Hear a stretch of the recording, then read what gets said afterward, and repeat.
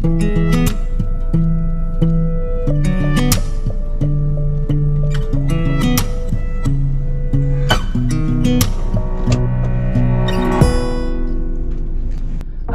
warahmatullahi wabarakatuh. Halo pemirsa semuanya. Sebelumnya saya ucapkan selamat menunaikan ibadah puasa Bagi kalian yang menjalankan ibadah puasa. Semoga ibadah puasa kalian itu sempurna ya Mendapatkan berkah barokah yang berlimpah di dunia dan akhirat ya tentunya Nah seperti biasa di video saya biasa membahas mengenai review mobil bekas ya. Tentunya lebih ke segi harga fungsional dan kondisinya ya. Karena mobil bekas itu kondisinya bermacam-macam ya kan. Karena kan seiring dengan pemakaiannya dan lain sebagainya itu kan pasti kondisinya berbeda. Karena mobil bekas itu kan serupa tapi tak sama. Seperti ini ya masih di mobil bekas ya serupa tapi tak sama ya ini mobil saya pribadi ya selain saya mau apa mencari mobil pesanan saya juga jual beli mobil sendiri ya kan? Apakah sama mobilnya? Ya.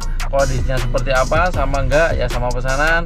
Kalian bisa lihat video saya terus sampai akhir ya. Nanti akan saya tunjukkan kepada kalian gimana saya jual beli mobilnya dan pokoknya berbeda ya. Kalau pesanan itu kan kegiatan sosial ya. Kalau ini kan hak saya pribadi ya. Jadi tetap saya tunjukkan kepada kalian saya bagi informasi siapa tahu bisa menginspirasi kalian semoga bermanfaat. Oke stay tune terus di channel saya Rumbeng Auto channel seputar otomotif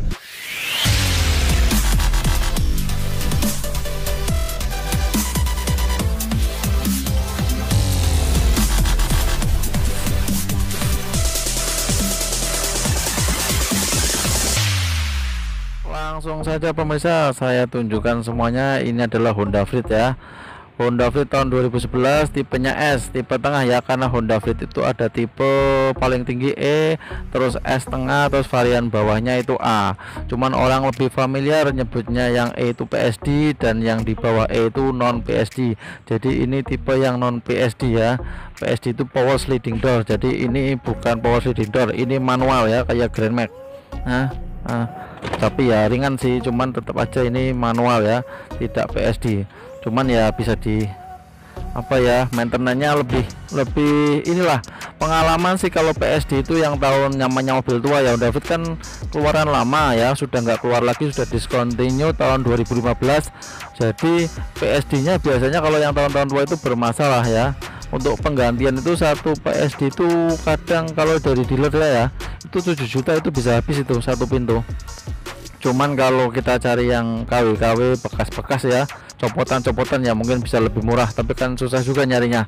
Ya ini motor kondisinya seperti ini ya.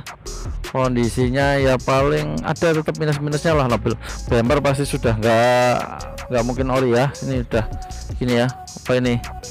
Pokoknya sudah sepet-sepetan ya mobilnya kayak gini pun sudah seperti ini teman tetap aja bisa diberesin. Apa ini? Mau tak pilok aja nih belum sempat saya. Oh iya ini yang besar ini. Ini kaca ini kaca ini pecah ini. Dalam tapi nggak di luar ini di dalam ini. Pecahnya makanya ini retak ke sini nih. Nah cuman ini nggak bocor makanya nggak tak ganti ya. Ini mungkin kayaknya si naruh korek api di dalam terus panas terus meledak. Itu prediksi saya ya. Mungkin bisa lain tapi prediksi saya seperti itu. Ini kalau ganti kaca ini ya mungkin sekitar 2 jutaan ya. 1 sampai 2 juta berapalah ya. Dianggap aja 2 juta sama ongkos pasang ya. Kalau cari yang merek murah juga ada juga. Cuman kalau cari yang bagus garapannya rapi ya segitunan lah. Yang penting kondisinya seperti ini ya. Ini untuk ban. Bannya masih bagus tapi ya enggak juga ya. Ini masih masih dalam dikit tapi ya. Tapi enggak juga tahunnya 2019 ya banyak tahun 2019 velgnya pokoknya ala kadernya mobil bekas lah seperti ini. Terus kita lihat ke mesin ya. ABS masih fungsi semua masih normal Insya Allah karena saya nggak ada keluhan ya untuk jarak ratusan kilo dan medan beraneka ragam naik turun gunung dan lain sebagainya mobil ini masih bisa diandalkan ya. Masih enak lah untuk kaki-kaki dan lain sebagainya masih enak. Kaki-kaki pernah saya masukkan ke bengkel kaki-kaki tapi katanya nggak ada masalah. Ya udah. Untuk engine yang mesin sudah seperti standar ya kita ganti oli filter olinya juga dan sudah kita bersihin ruang bakar dan kita cek-cek semua kelistrikan dan kita sudah scan ya tidak ada masalah. Normal saja tapi tetap aja mobil tua ya mobil tua kilometernya sudah berapa ya? Nanti tak tunjukin. 150 kayaknya ini sudah tua. Tapi engine nggak masalah kaki-kaki nggak masalah ya yang masalah body-body lecet wajar ya mobil tua. Kita lihat dari belakang untuk kelengkapannya walaupun antena hal sepele tapi biasanya sudah nggak ada ini masih ada. Ya ini spoiler juga masih masih kokoh kayaknya masih kokoh ya nggak goblak-goblak ini wiper juga biasanya ada yang retak-retak atau patah. Lampu belakang ini enggak enggak ada retak enggak ada patah. Cuman ini yang ini kayaknya udah ada air nih. Udah ada air ini yang ini ini udah retak-retak gini ya. Terus kita lihat belakang nah ya kondisi kabinnya seperti ini udah biasa ya bisa dilipat ke atas gini. Kalau dilipat ke atas gini nggak enaknya ini yang depan ini nggak bisa ngelendeh banget. Kalau kayak gini kan bisa lendeh banget yang ini. Kelebihannya ya bawahnya pendek atasnya tinggi itu bisa muat pohon. Bawa muat pohon. Enggak ya pokoknya saya pernah masukin motor 250 cc juga ke sini juga cukup ya motor agak gede. Yang tengah tadi belum ini ya belum kelihatan banget ya yang tengah ya, ya kayak gini lah joknya ya. Jok sudah di retrim kayak gini bahannya medium ya. Nggak jelek nggak bagus ya cuman medium aja bawah pakai karpet mie. Karpet dasarnya udah pakai yang ini biasanya ada yang paket itu apa panas ya. Apa sintetis ya. Terus ini kaca juga masih kayaknya masih ori semua tak kaca belum ganti. Makanya itu yang letak itu nggak tak ganti. Dalam juga masih sama ya. Dashboard nggak ada yang pecah. Masih orisinil cuman ini masih pakai kompor gas ya. Karena tipe S tipe S sama A kayak gini kalau tipe E sudah pakai digital tapi tetap posisinya di sini. Mobil ini transmisinya matic semua nggak ada yang manual.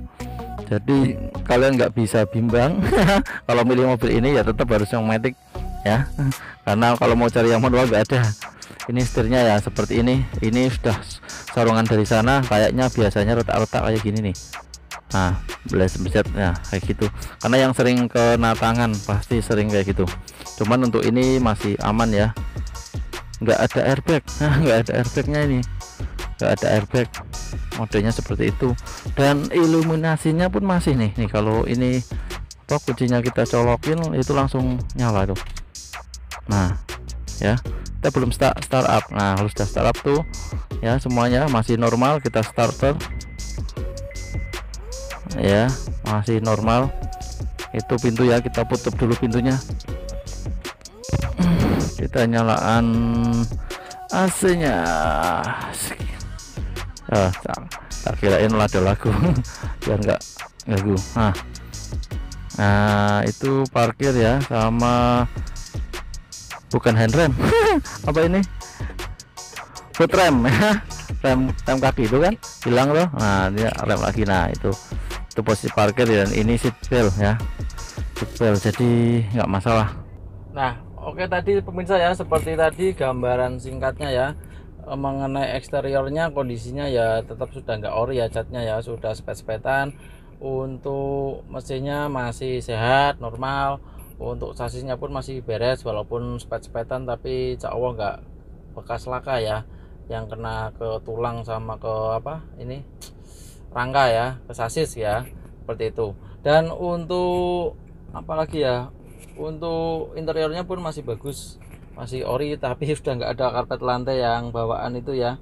Karpetnya masih dasar yang yang setiap ini mungkin sudah diganti mie ini jadinya makanya mungkin sudah nggak ada yang itu. Tapi nggak masalah malah enak yang ini yang enak yang mie. Yang penting kalau saya fungsionalnya ya karena review di kita itu lebih mengedepankan fungsional sama harga. Nah ini masuk ke harga. Harga mobil ini plate ini kan dari tahun 2008 oh ya? Eh 2009 ya 2009 sampai 2011 ya. Nanti 2011 sampai 2015 itu sudah facelift bentuknya agak berbeda fiturnya agak berbeda dikit ya kan? Tapi serupa tak sama ya kan? Tapi tetap serupa ya kan? Seperti itu. Dan 2015 itu sudah akhir sudah nggak nggak keluar lagi. Makanya sekarang ini pasarnya juga agak agak kuat ya kan karena posisinya karena sudah nggak keluar yang baru ya seperti itu. Cuman yang paling diburu kan yang tahun-tahun akhir lah pastinya ya kalau ini yang yang sebelum facelift ini. Ini tipe ini di pasaran masih banyak yang dijual 100 lebih yang pastilah ya. Saya kurang familiar kalau tipenya ini cuman kalau tipenya yang PSD itu ya ada yang tetangga itu malah 125 dia aku dijual. Ya mintanya berapa itu kan jadi warna hitam juga saya bandingin sama yang warna hitam dan tetangga yang sudah sudah real. Ada ya kalau di, di online ya kita bisa ngecek di online pasaran berapa kalian bisa ngecek sendiri ya. Tetap rata-rata 100 naik lah 105 110 115 ada juga ya tapi nggak tahu kondisinya seperti apa ya PR nya seperti apa. Intinya mobil ini dapat di harga berapa? Saya dapat di angka 80 juta ya. Apakah harga segitu? Harga apa tanpa PR ya ada PR ya. Tentunya yang uang saya keluarkan pasti lebih dari 80 juta. Tapi ya saya beresin perlahan demi perlahan ya. Misalkan engine yang saya masukkan eh di bengkel tagihannya berapa? Cuman nggak ada satu juta. Oke terus di kaki-kaki ternyata nggak ada keluhan ya. Terus kita beresin ya kan yang butuh ditambal-tambal dikit ya yang di bumper berapa ya. Paling kalau sepet-sepet ringan berapa? 300 ribu. Ya 500 ribu ya kan yang murah. Kalau yang pakai yang mahal kan nggak masalah bisa juga.